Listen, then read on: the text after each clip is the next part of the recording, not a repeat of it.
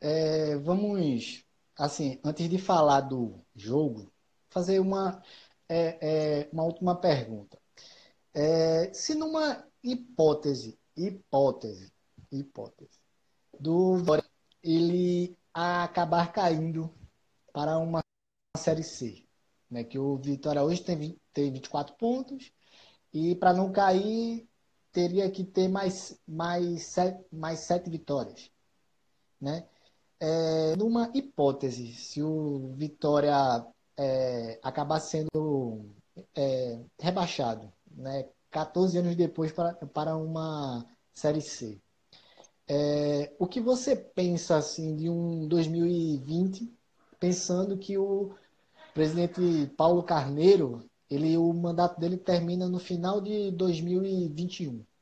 Isso. O, é, o, é, o que você assim pensa de hipótese? É, desse... tenebroso. Tenebroso. Se o Vitória cair para uma Série C, vai ser uma coisa tenebrosa. Né? Se você já não está conseguindo cuidar da estrutura que você tem com receita de Série B, imagine você caindo para uma Série C. Onde a CBF já disse que se você cai, já diminui naquele momento já a sua receita, coisa que não era antes. Você manteria a sua receita naquele ano que você caiu, e se você permanecesse aí, diminuiria. Mas agora não, agora você caiu, diminui de vez. Né? Então eu vejo um, um negócio tenebroso, caso isso aconteça. E mudando, e falando assim sobre o que você disse, não é uma hipótese, é uma realidade. Né? O time que o Vitória tem hoje, o time não, eu não acho nem o elenco do Vitória ruim.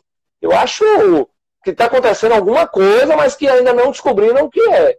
Eu não acho o elenco do Vitória ruim para estar tá nessa situação brigando contra o rebaixamento.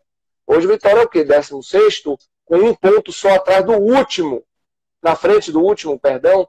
Então eu vejo isso hoje como uma realidade. Isso pode acontecer, o Vitória cair para uma Série C do Campeonato Brasileiro mais uma vez. Mas tudo isso a gente não tem que acreditar só essa gestão, tem que acreditar todo esse momento é, democrático que o clube quis viver. Passou por esse momento. Mas eu vejo um, um panorama assustador. Né? Se cair, vai ter que usar assim mesmo a base. Vamos ter que revelar jogador, vamos ter que vender jogador. Vitória tem alguns jogadores aí prestes a. Se, se não voltar para o Vitória, o Vitória pode ganhar dinheiro com eles. Né? Que é o Iago, que fez gol ontem no Goiás.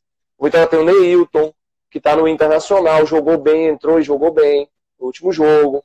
O Vitória tem, é, tem o Juan Renato, mas o Juan Renato está entrando na justiça já para pedindo o desligamento do Vitória geral devido à falta de pagamento. Então tem outros jogadores que estão emprestados, Fabiano, lateral, do Curitiba. Então tem outros jogadores que pertencem ao Vitória, mas estão espalhados por aí. O Léo Ceará, entendeu? Então tem alguns espalhados. Agora, com isso aí, o Vitória faz dinheiro. Mas tem que fazer dinheiro agora de imediato né, para já começar a pensar em 2020. E eu acredito que esse dinheiro aí vai vir com o dinheiro da Fonte Nova que eu acabei de falar agora há pouco.